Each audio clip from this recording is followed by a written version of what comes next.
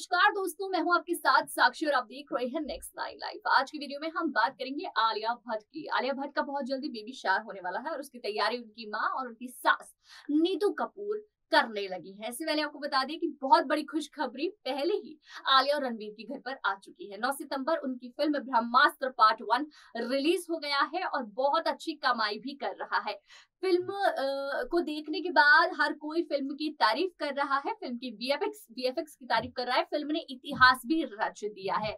इसी के साथ आपको बता दें कि एक बहुत बड़ी खुशखबरी तो यहाँ आई, लेकिन एक और आलिया की खुशखबरी भी आ सकती है। आलिया बहुत जल्द ही माँ बनने वाली है और इसी के साथ अब बेबी शार होने के लिए उनकी माँ सोनी राजधान और नीतू कपूर, यानी कि दोनों माओ ने पूरी तैयारियाँ कर ली है। किस तरह से वो दोनों सेलिब्रेट करेंगे, किस तरह से आलिया और रणबीर इस बेबी शार में का जो है बेबी का वेलकम करेंगे, उसका इंतज़ार रहेगा फैंस काफ़ी ज़्यादा एक्साइटेड है उन फ़ोटोज़ को देखने के लिए। फ़िलहाल आलिया जिस तरह से अपनी फ़िल्म का प्रमोशन कर रही थी बहुत बड़ी बात है प्रेगनेंसी के समय जिस तरह से वो बाहर निकल रही थी, बोल रही थी, बात कर रही थी, चल रही थी तो एक बहुत बड़ी बात है, इस वक्त पे भी ऐसा काम करना, इसी को स्ट्रगल कहा जाता है। और इसी के साथ अगर हम बात करें, और रणबीर कपूर और आलिया भट्ट की फ़िल्म की, जहाँ पर बहुत अच्छी तरीके से फ़िल्म की फ़िल्म को दर्शाया गया, और फ़िल्म की जो स्टार्टिंग की लव स्टोरी है, वो फैंस को काफ़ी ज़्यादा पसंद आ रही है। और सबसे खास चीज़ जो फैंस ने रियलाइज़ की, वो था आलिया और रणबीर के बीच का प्यार।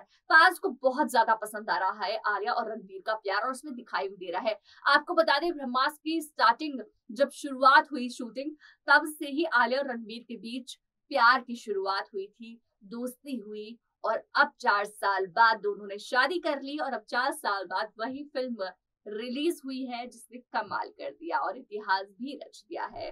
अब आप बताइए कमेंट सेक्शन में कि आपको कैसी लगी ब्रह्मास्त्र फ़िल्म और ऐसे अपडेट्स के लिए देखते रहिए नेक्स्ट नाइन लाइव